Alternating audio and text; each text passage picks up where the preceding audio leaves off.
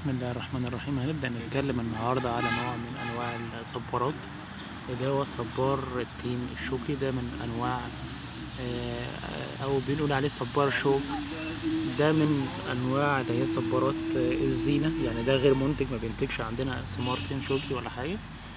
آه، ده بيستخدم في أغراض الزينة.